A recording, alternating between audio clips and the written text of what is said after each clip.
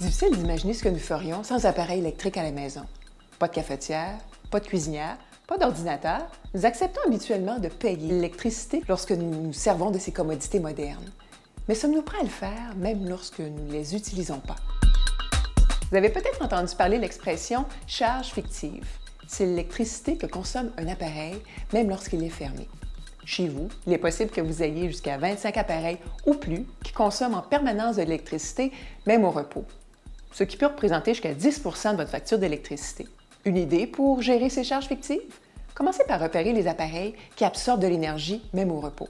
Le plus évident sont ceux qui affichent un témoin lumineux. Par exemple, les chargeurs d'ordinateurs ou de téléphones portatifs sont chauds au toucher car ils consomment de l'électricité et ce, même lorsqu'ils ne chargent aucun appareil. La façon la plus sûre d'éliminer les charges fictives est de débrancher les appareils. Si vos appareils ont un mode économie d'énergie, vérifiez s'il est activé. Les barres d'alimentation sont une autre option intéressante car l'interrupteur permet de fermer automatiquement tous les appareils qui y sont raccordés.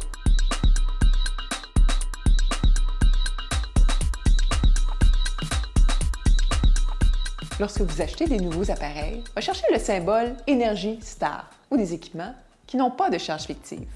Pour en savoir plus, visitez-nous au.